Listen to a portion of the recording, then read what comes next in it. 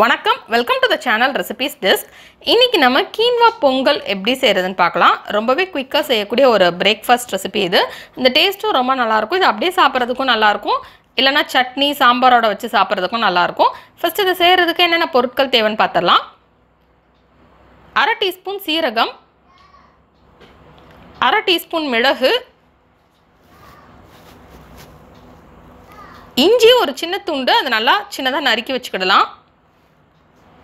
முந்திரி பருப்பு தேவையான அளவு கருவேப்பிலை கொஞ்சம் மூணு சிகப்பு வத்தல் அரை கப் கீன்வா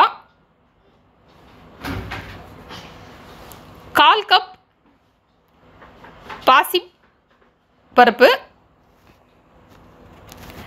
ஃபஸ்ட்டு நம்ம பாசி பருப்பை ஒரு கடாயில் எடுத்துடலாம். எடுத்துகிட்டு அதை ட்ரை ஃப்ரை பண்ணிக்கலாம்.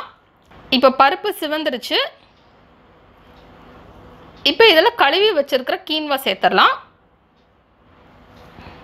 இந்த கீன்வா வந்து வெயிட் லாஸுக்குலாம் ரொம்பவே ஹெல்ப்ஃபுல்லாக இருக்கும். அதனால் வெயிட் லாஸுக்கு ட்ரை பண்ணுறவங்க இதை வந்து ஃபுட்டில் சேர்த்துக்கலாம்.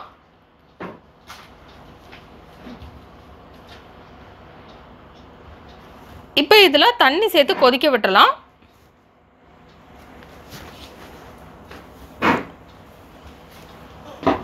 இந்த கீன்வா குக் ஆகட்டும். அது வரைக்கும் நம்ம இதை கொதிக்க விட்டலாம்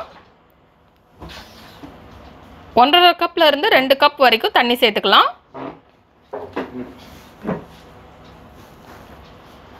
இப்போ டிஷ்ஷுக்கு தேவையான அளவு உப்பு சேர்த்துடலாம்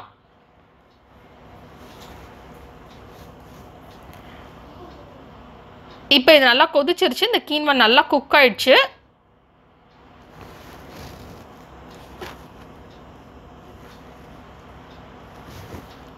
இப்போ நம்ம தாளிச்சிடலாம் ஒரு தாளிக்கிற கரண்டியில்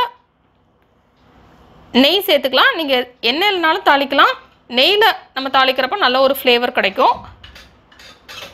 தேவையான அளவு நெய் சேர்த்துக்கோங்க. நெக்ஸ்ட் இதில் சீரகம் சேர்த்துடலாம் சீரகம் பொரிஞ்சதுக்கப்புறம் இதில் மிளகு சேர்த்துடலாம் நெக்ஸ்ட் இதில் சின்ன சின்ன துண்டாக நறுக்கி வச்சுருக்கிற இஞ்சி சேர்த்துடலாம்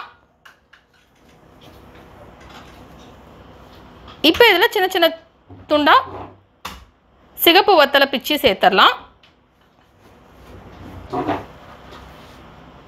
இப்போ வத்தல் ஃப்ரை ஆயிடுச்சு. நெக்ஸ்ட் இதில் முந்திரி பருப்பு சேர்த்துக்கலாம். சேர்த்துட்டு அதையும் ஃப்ரை பண்ணிடலாம்.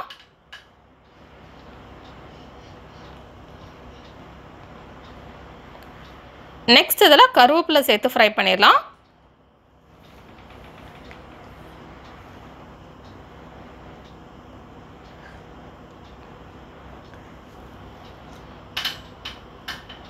இப்போ கருவேப்பிலை ஃப்ரை ஆயிடுச்சு. இப்போ நம்ம இதை இந்த கீன்வாவோட சேர்த்து மிக்ஸ் பண்ணிடலாம்.